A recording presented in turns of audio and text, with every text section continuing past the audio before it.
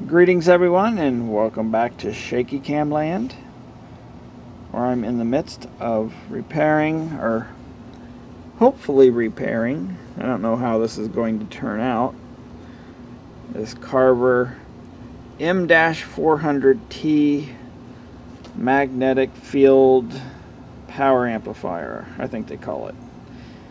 But yeah we left off in the other video I had determined that several capacitors on the power amplifier boards were bad. And I hadn't test tested to this board yet the power supply board. But now I have and here's what I found. Quite surprisingly all of these little electrolytic capacitors are fine even the one hiding back there I figured, well, at least one of them would be bad because they were all bad on here, just about. But these are just fine. And I tested the diodes and all the transistors. And uh, this test to be open, I mean, when it's powered down, it's off. This triac here so it's working because this is in series with the mains in the power transformer primary. So apparently this circuit is working because you know it powers up, but it powers up into a short due to that one capacitor that's bad. Where is it? This one here, dead shorted cap. I also tested these without anything connected, able to get a reading from my meter and they they test fine and then I did some ESR tests. Now these two here and these bottom two are in parallel with each other but I did get you know double the reading they're 220 I'm sorry they're 2200 microfarads each so I'm not going to bother with these because they test fine. Now if this was your project, sure you can recap everything if you want, but if they're good, I'm not going to. You know, I I try to minimize the expenditures on this stuff, and if the part tests good, I don't see a reason to replace it. Though, yeah, there can be some argument to why you might want to. I'm trying my darndest not to have to spend any money on this project, but it looks like I might have to. But at least with these capacitors here, I can use a substitute. These here are 100 volt caps and I don't have them in stock, that value. So I wanted to know if I could use a substitute value. I have these 15 microfarads and these are 4.7s. So I looked at the schematic and it turns out these are just filter caps for the front end. They're on the 75 volt rail. So you have the power supply 75 volt rail feeding the you know the uh, later stages of the, of the amplifier. Then it goes to a resistor and then the capacitor is in parallel from the rail to ground. So it's a filter for the front end of the amplifier. It was not used in the earlier versions of the amplifier.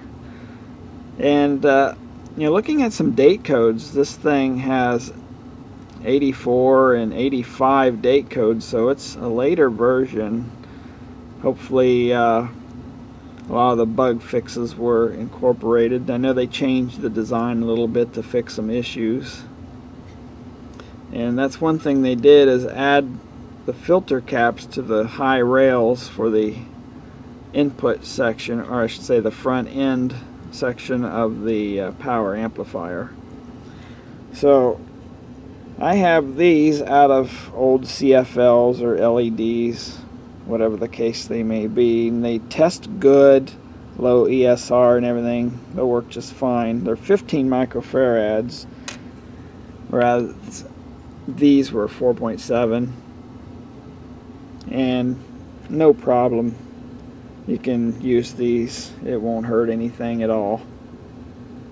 Now I should have all the other values, these smaller caps. Most of these are bad.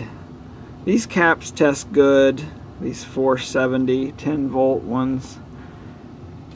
And I don't see a point in changing them. Where is it? Over here on this one.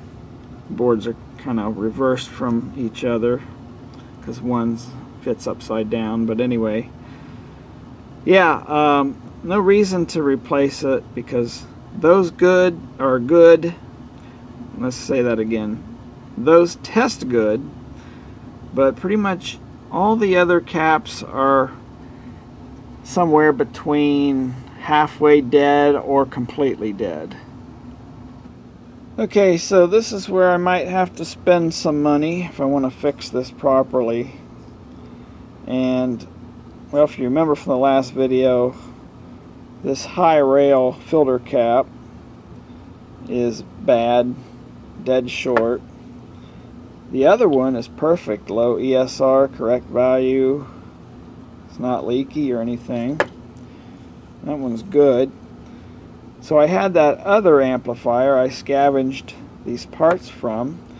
I will like to finish that amplifier at some point, or I should say fix it, but just to test this thing out, I was hoping to scavenge one of these parts. And well it's not going to turn out so well. This one is dead open. And this one is weak. High ESR it reads about half the value it should be. I mean it's usable for a test I think. It's not that bad but to completely fix this thing I'm going to have to buy a replacement cap probably, well, if I want to fix the other amplifier, I'll have to buy a set of four of these things. So yeah, I'll have to spend money there. But for now, I think I'll just use this one as a test to make sure this works.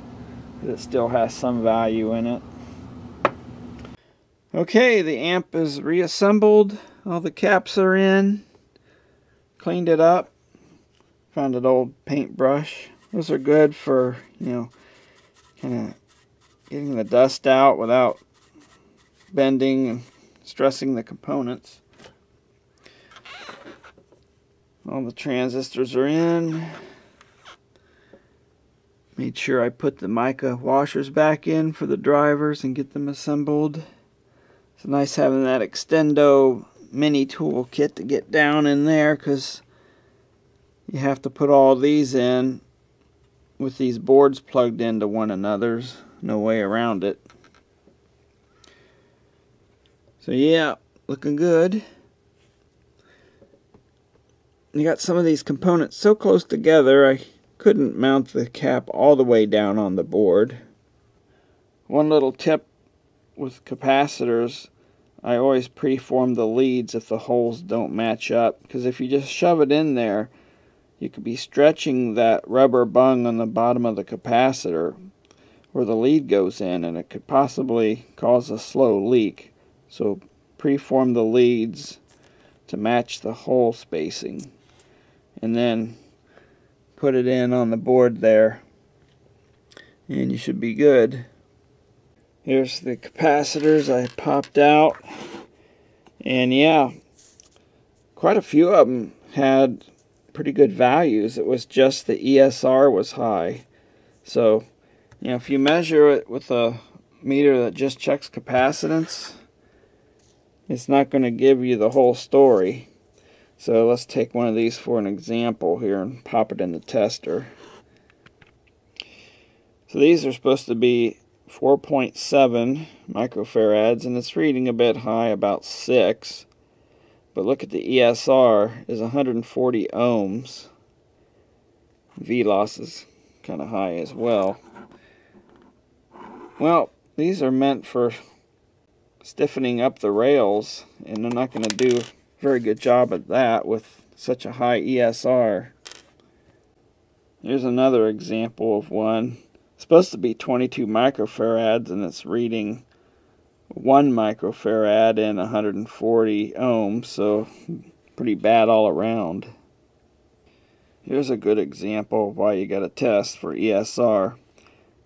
This one is 22 microfarads, and it's pretty close, around 20. So you might say, eh, good enough. But if you look at the ESR, it's 91 ohms. Eh, a little bit high there, I would say. A lot high. And here's another example for you. This is out of my new stock. I measured it. It's supposed to be 22. And it's measuring low. ESR's not too bad. But it's a new capacitor and it's measuring low. I mean, it's probably a few years old. It's been in my new stock for a while. But yeah, I check all the capacitors that are going to go in as replacements. Make sure they're in good shape. Like I said earlier, I'm using the cap from the other amp. Not the best of shape. It's down quite a bit on capacitance, up a little bit on ESR, but it'll work well enough just to do a basic go no go test. I did find replacements for $20 a piece. So if I buy two for this amp and two for the other, that's about 80 bucks. But I'm going to buy just one for now because money's a bit tight for me. Going into a recession, I think, which is not really a bad thing. It'll get a handle on this crazy inflation. In fact, if you go look at commodity prices, they're starting to fall quite a bit. Okay, let's power this thing up. It's on the bulb limiter. went bright and then dim. You can hear that thing humming. I mean, after all, it's got essentially a thyristor type light dimmer in it, triac. But the thing is pretty quiet. I mean, I can hear a slight buzz if I put my ear on the tweeter, but the camera's just not going to pick it up. In fact, you can probably hear the the buzz from the transformer over anything else. Okay, so I'm going to hook some music up to it. I, I know it works because I've played it for a couple hours already. Okay, let's do some YouTube safe stuff here. Russian dance.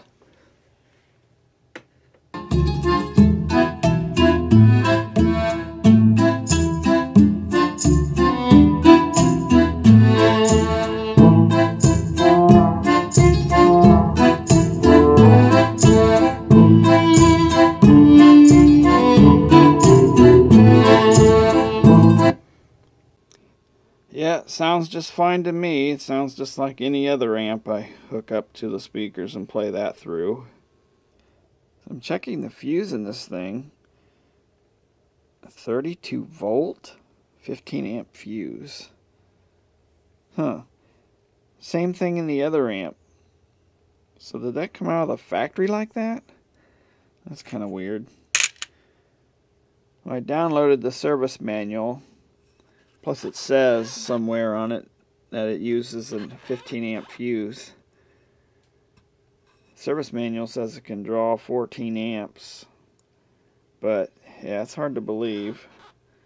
You know, even at say 600 watts, I forget what the maximum output is, but bridge mode maybe 600. But if you factor in the efficiency of a class AB amp, yeah, it might go up to close to a thousand watts, and that would be only temporary, short term. And that little power transform that little power transformer would smoke. That was sustained too long. Either way, I don't feel comfortable. I would back it down to 8 amp, see how that holds. I would stick with 8 ohm loads anyway, but yeah, and back it down. But looking through all my fuses, got all these when Radio Shack was going out of business.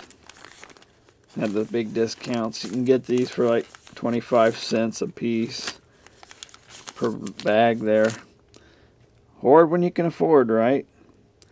Well, best I could find was a 6 amp fuse, so I'm going to pop that in there. I'll have to get some 8 amp fuses. But yeah, I just feel more comfortable not using such a high rated fuse. A 15 amp fuse seems way overkill to me. Of course, the reason for the 15 amp fuse might be inrush as well, because I notice the lights flicker when you plug this thing in. It doesn't have a power switch. So I'll have to see how an 8 amp fuse would hold. Holding with the 6 amp fuse at least. Another thing I did is check the supply rails. I have it plugged directly into the mains now. My voltage is kind of high here, it's 124 volts. But I wanted to make sure I'm not stressing the capacitors. So turning this dial this way, this controls the uh, triac triggering. And uh, so it would lower the voltage a bit so I'm running it now with the uh, low rails at 22 volts, 46 volt on the mid rail, and 73 on the high rail. The reason for that is the voltage between the mid and low rail is 24 volts at this setting. At the setting before it was just over 25 volts. And uh, the capacitors here for the mid rail are connected between the mid and low rail, if I remember correctly. So that would be stressing them. So I want to give them a, at least a tiny bit of headroom. Also, I checked the negative voltage are the same for the negative rail side. And there's also a plus and minus 12 volt rails used for the little meter and the op amps. And those are measuring perfect. Okay, so at this point, what I'm going to do is order that capacitor and pop it in when I get it, and then I'll run it through some tests. There's some tests in the service manual that you can do, but you know, from what I've seen, I think it's working fine. You know, I didn't find any shorted silicon or anything out of whack. We got new caps in there. I know some of those caps are related to the commutation circuitry and may not work properly if the bad caps are in there. But yeah, I don't expect to find anything major wrong with this. But I'll check it out here when I get the new caps in and do a video at that point, which will be sometime in the future. I don't know when, but for now, I say this thing is working pretty good. Okay, so what about the other amp? This is the M400 this is the one I just worked on, the M400T. I put masking tape around the side because it has that greasy silicone um, thermal grease on it. And these are pretty messy amps. They got uh, thermal compound all over them. But anyway, this one has date codes from 1985, the latest. So this thing might have been sold in 85 or 86. So definitely a later version. This one has date codes from 1980, so a much earlier version. As you look at these boards, notice how much different they are from one another. So, you know, this is after, I know they had a lot of revisions and changes. So, you know, this is the later amp. Hopefully they shook a lot of the bugs out of it. This one might have some bugs left in. There is service bulletins, and they give you uh, serial number ranges, and they tell you what fixes and things have to be incorporated. This one, let's see here. There's the serial number. I think uh, a few of the changes are before the serial number, so that's good. Also, this this was dropped in shipping or something, and the bottom's bent. Hopefully, didn't mess anything up. But as you remember from the very beginning of you know the first video I made on servicing this one, this one of course had the shorted capacitor but this one, I was getting music through it with some buzzing, and one of the rail caps was wide open. So I think it's probably just rail cap or uh, you know capacitor replacement work is going to be done. You know, kind of boring, just changing caps. But yeah, I have a feeling that's just what this thing's going to need. Of course, I have to do the service manual test to see if it's going to be fixed. But because of the cost of these caps, I'm going to have to buy two of them for 40 And I need one for this one. Because, like I say, I'm borrowing this one from that. And it's not in good shape. So I'll probably uh, put this aside, save it for a few months. You know, another thing I could do is just temporary solder in some capacitors and that way I can work on it and get it going and then buy the the main filter caps but yeah that's an, always an option well I'm going to wrap it up here for the Carver magnetic field power amplifier M400 and M400T and I thank you for watching